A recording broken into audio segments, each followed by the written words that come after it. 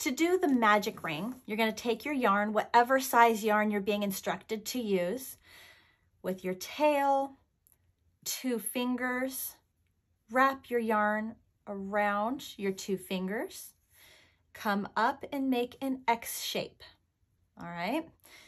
Take your crochet hook, and this is why it's important to make a really clear X shape because you're going to go underneath this yarn, the first yarn, grab the loose yarn, pull it under.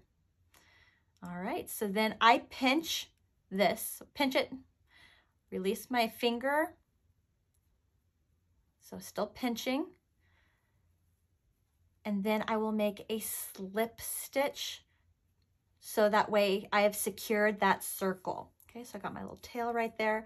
Now, according to whatever your pattern asks you to do, you will make the stitch, it's either a single crochet stitch, half double crochet, double crochet, whatever stitch you're making inside the magic ring, however many you're instructed to do. So I will take my crochet hook, go inside the ring, yarn over, pull through, yarn over, pull through. So I'm just gonna make single crochets for the example.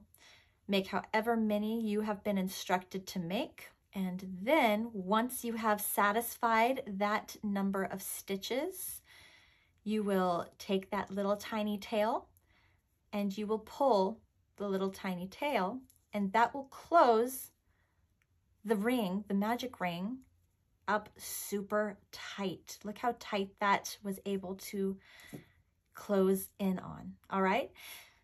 So now you're left to either begin continuous round, round two, or you'll slip stitch into the top of the first stitch, slip stitch, and then chain however many it's telling you to chain to begin round two of your creation. And that is the magic ring.